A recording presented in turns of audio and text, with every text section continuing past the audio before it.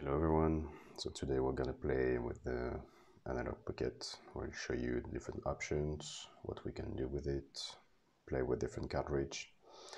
So let's start with the first one, Super Mario Land 2.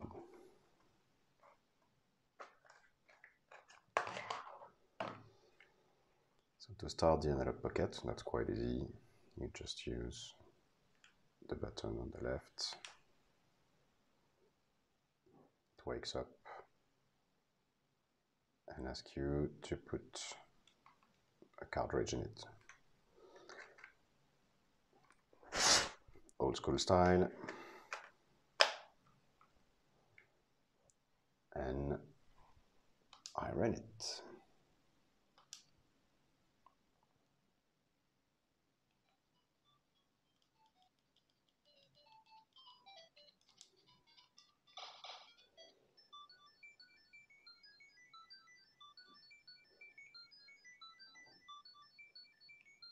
The screen is so beautiful.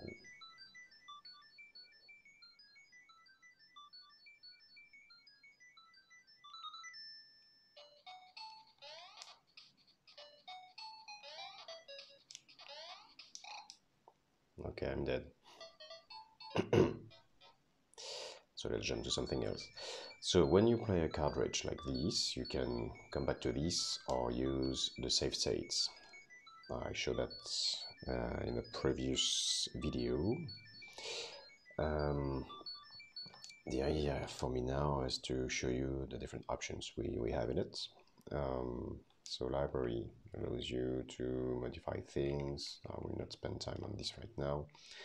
Open FPGA if you have updated the Analogue Pocket with the last the latest firmware, you can play different uh, games. Uh, once again, you need to have the games, otherwise it's forbidden to use them. But if you're lucky enough to have them, then you can play uh, anything you want uh, into into it.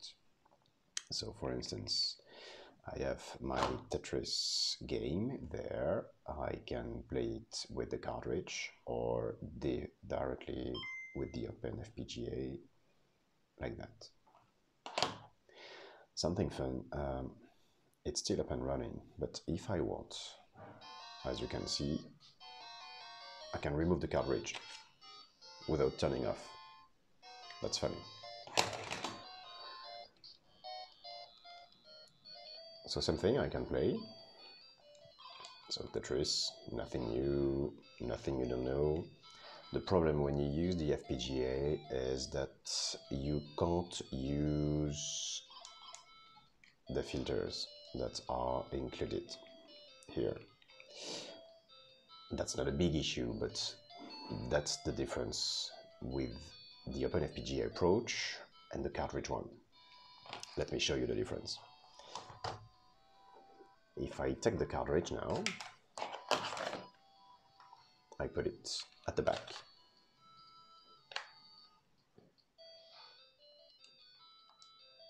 And I quit the FPGA. I can now play the cartridge, which will use this one this time.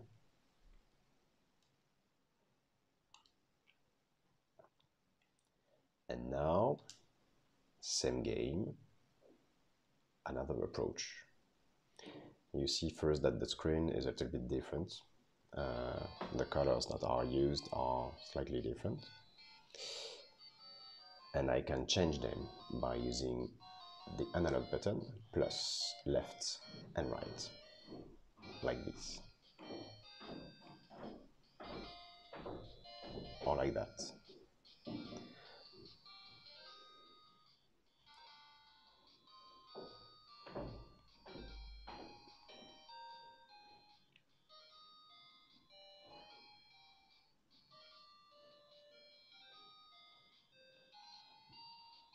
Have the choice, I prefer this one. This one is the best, probably. If I go to the settings and I want to change the way the Game Boy is displayed, I can play with the video here and change the display mode. So that's exactly the same thing, but you're not using the shortcut, you're just modifying manually.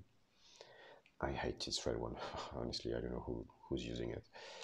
Um, and the color palette uh, can be used as well uh, if you use the default analog one. Uh, I'm not a big fan personally, but um, choose the one you prefer. Uh, frame blending, I will not spend time on these, but um, quickly, just if you have the sprites that are disappearing, um, if it's transparent or you have some issues, you can use the frame blending on that. Let's come back to the game. All right. So, same game, same player, play again.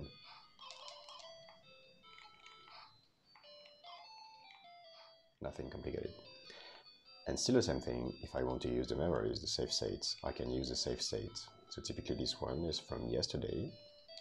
I can just load it and I'm immediately coming back to the save state. I love it. So let's quit the cartridge. That's done. No need to turn off. You can just remove it as it is. So quick. And we will use another one.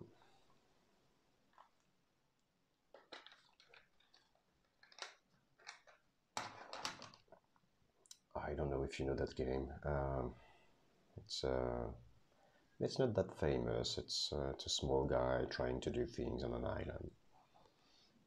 Let's try it. And let's play the cartridge. I have some issues sometimes with that. Yes, I have this issue sometimes. I don't know why it's coming. Um, so I need to quit. I need to take it back.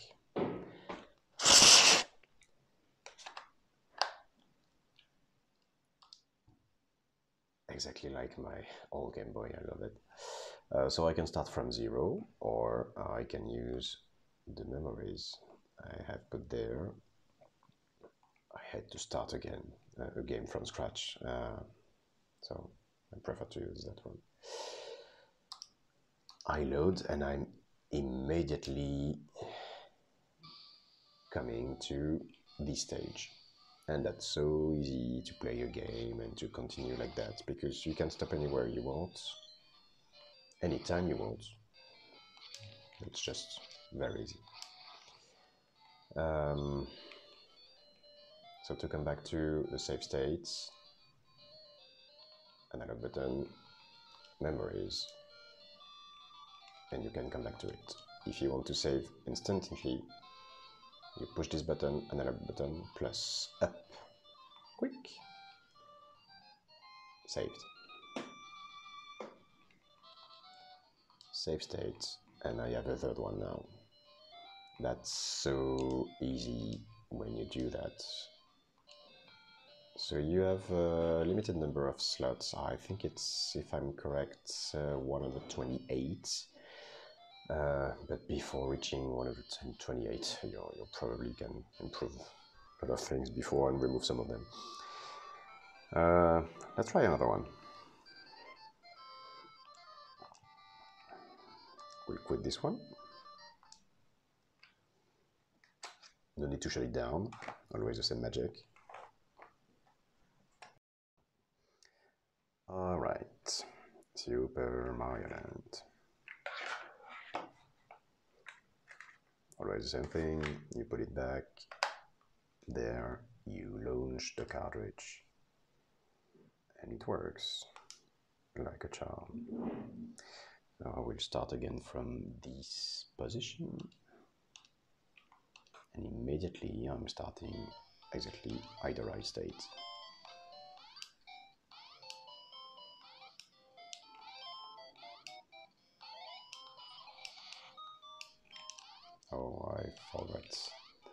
Ah, I forgot that you cannot come back in the first version. Ah.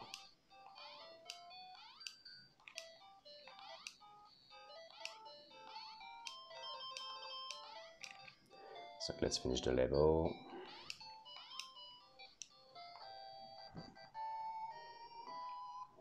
Got it.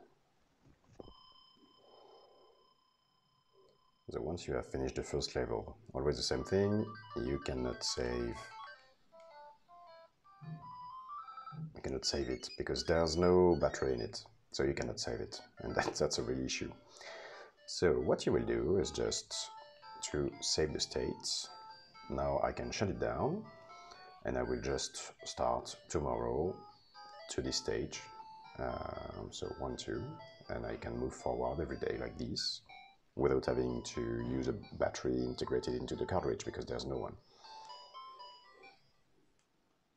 and that's done. I hope you love this video. Um, just to show you the basic things. Um, it's really what was missing in my view when I, I acquired this uh, this console before acquiring it because I was very curious how it works, what can be done, what cannot be done. Um, so now you know not everything, but the, that's the very beginning.